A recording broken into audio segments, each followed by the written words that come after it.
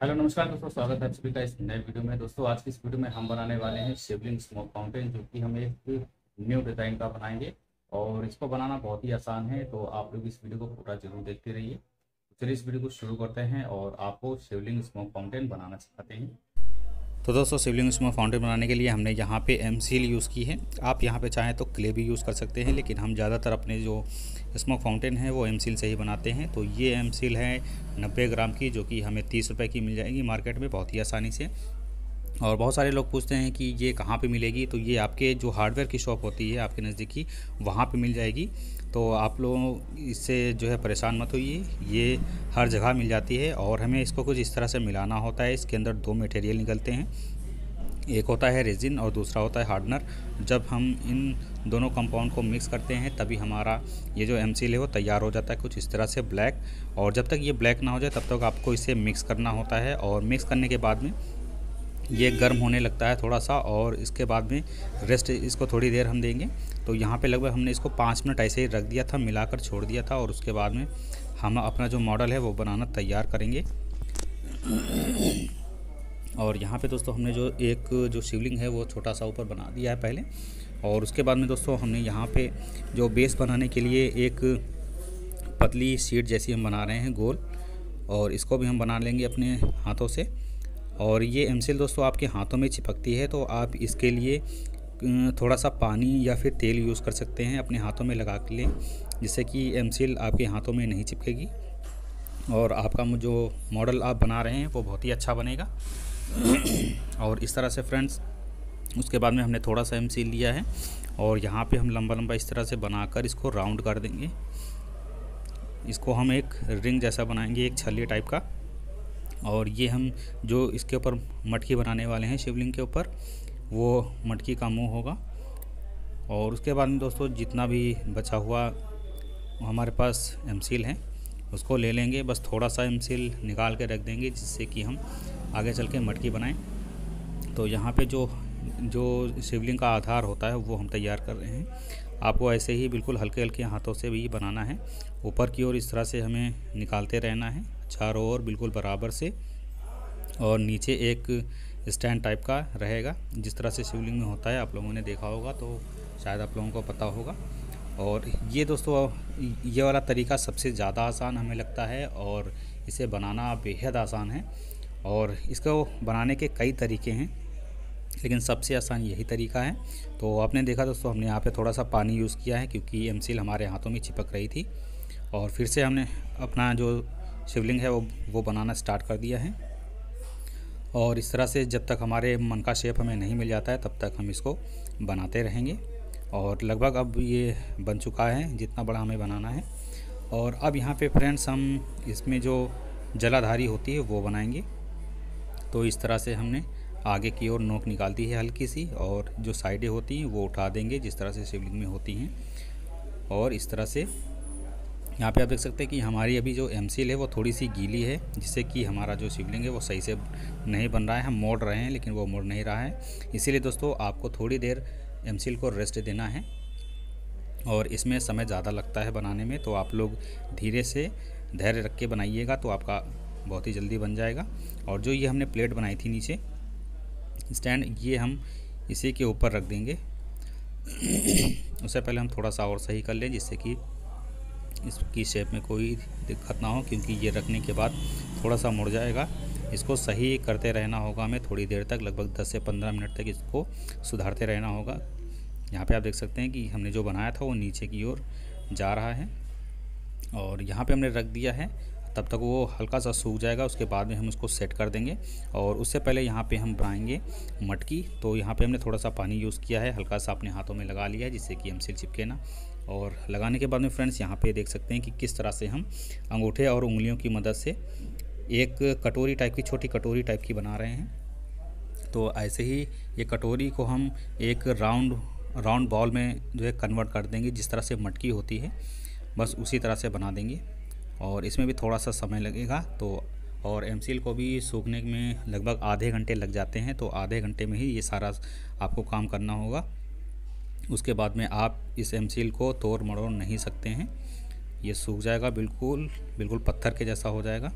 तो यहाँ पे आप फ्रेंड्स देख सकते हैं कि हमने इस तरह से बना लिया है और इसके जो ऊपर का हिस्सा है, मुँह इसका, उसे हम थोड़ा थोड़ा सा इस तरह से दबा दबा के छोटा करेंगे। और ये जो हमने रिंग बना के रखा था छल्ला, और ये छल्ला हम इस तरह से इस गेंद के ऊपर रख देंगे, मटकी जो हमने कटोरी बनाई है। इस तरह से रख देंगे और इसको हल्के हाथों से प्रेस कर देंगे नीचे की ओर, जिससे कि ये दोनों ये जो दोनों चीज़ें हैं वो आपस में चिपक जाएँ।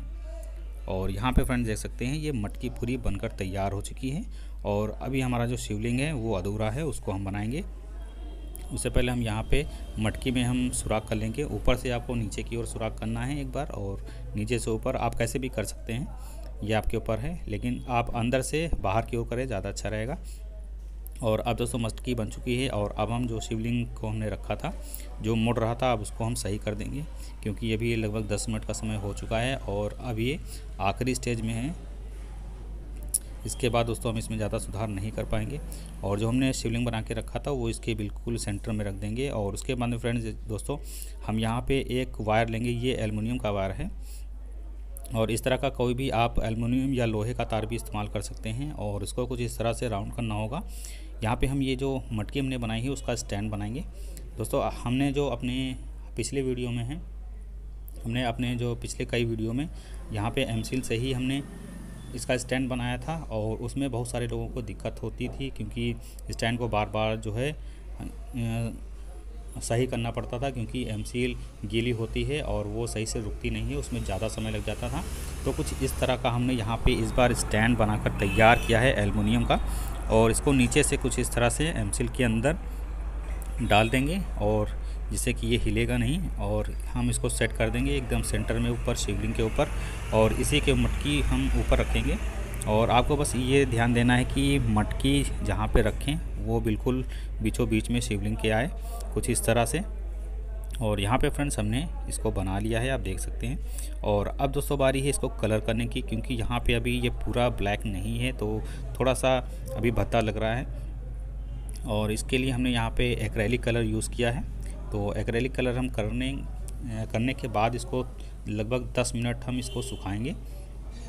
और सुखाने के बाद में फ्रेंड्स इस पर हम थोड़ा सा और काम करेंगे, जिससे कि हमारे जो ये शिवलिंग है, इसमें और भी ज़्यादा शाइनिंग आ सके, चमक आ सके, जो कि देखने में बहुत ही ज़्यादा प्रीमियम लगता है। और बहुत हम आपको आगे दिखाएँगे। तो ये, यहाँ पे हमने अपने जो शिवलिंग पे है, शिवलिंग और मटकी पे दोनों पे कलर कर लिया है बहुत ही अच्छे से। और इसको सूखे लगभग 10 से 15 मिनट हो चुके हैं और अब यहाँ पे हम शाइनिंग के लिए यूज़ करेंगे वार्निश तो ये है दोस्तों वार्निश वार्निश ये क्लियर वार्निश है। आपको ये हल्की सी ब्राउन कलर की दिख रही होगी, लेकिन दोस्तों ये एकदम क्लियर वार्निश है। इसमें थोड़ा सा पेट्रोल या फिर थिनर मिला के आप लगाएँ तो ज़्यादा सही रहेगा, लेकिन हम यहाँ पे दोस्तों ऐसे ही यूज़ कर रहे हैं, क्योंकि हमको ज़्यादा शाइनिंग चाहिए।